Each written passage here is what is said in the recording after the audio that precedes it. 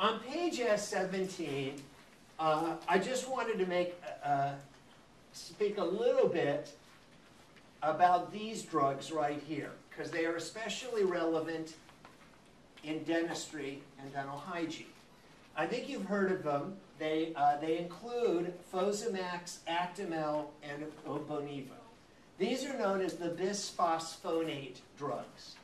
They are prescribed uh, to people as they get older, especially postmenopausal women, to reduce the probability of osteoporosis. So in elderly people, especially postmenopausal women, they become very susceptible to reduced uh, bone density and osteo uh, related to osteoporosis.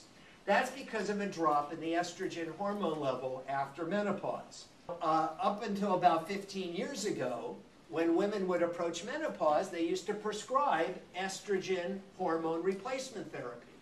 But taking estrogen postmenopausally does slightly increase the risk of strokes.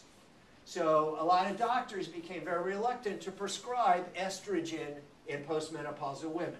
But you still have to have this, you have this problem then with the drop in the estrogen hormone level after menopause around the age of 50 of developing osteoporosis. And as the bones become weak and more brittle, that's why there's an increased risk of a broken hip, which is very common in elderly people, especially elderly women. And a broken hip, of course, is a, misnomer. It's really not a broken hip or pelvis, it's a break in the femur, where the neck of the femur breaks. But anyhow, so uh, they, these drugs, how do they work? These drugs inhibit osteoclasts. Now you remember there are osteoblast cells that uh, increase uh, deposition of calcium in the bones, increasing bone uh, density, and there are osteoclasts that break down bone tissue, that cause bone resorption. So these drugs inhibit the osteoclasts, reducing the bone resorption or breakdown of bone tissue to slow it down. So uh, that's why they're, they're important. Now, why this is relevant to dentistry is not only in terms of maintaining bone density of the maxilla and mandible, uh, but because of a potential adverse effect. So we know that uh, patients who take high levels of these uh, bisphosphonate drugs, especially when taken intravenously, uh, have an increased risk of necrosis of the mandible. You might ask, well, who would be taking these bisphosphonate drugs intravenously? And the answer is patients with metastatic bone cancer.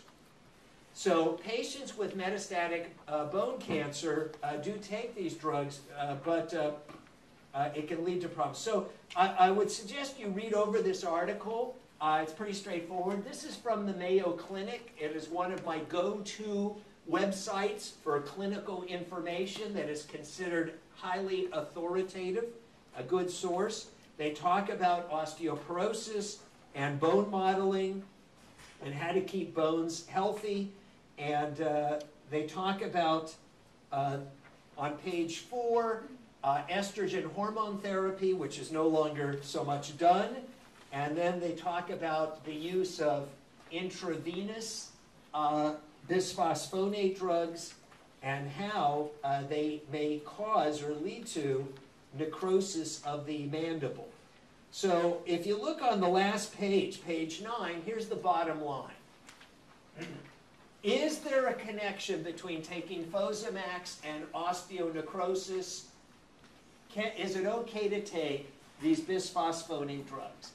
Here's the bottom line. According to Mayo Clinic, yes, it is safe. Fosamax is safe for the majority of people who take it, but it may pose a risk of a rare jaw disorder called osteonecrosis of the jaw in certain people.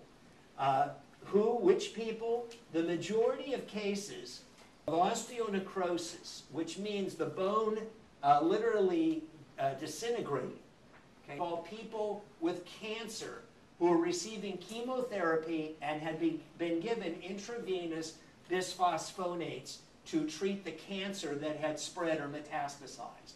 A small number of cases of osteonecrosis of the jaw have been reported in people taking oral bisphosphonates, such as Fosamax. These have been primarily associated with active dental disease or recent dental procedures, such as tooth extractions. But uh, the risk of developing osteonecrosis of the jaw due to bisphosphonate use is very low in people who have, don't have bone cancer or major significant dental problems.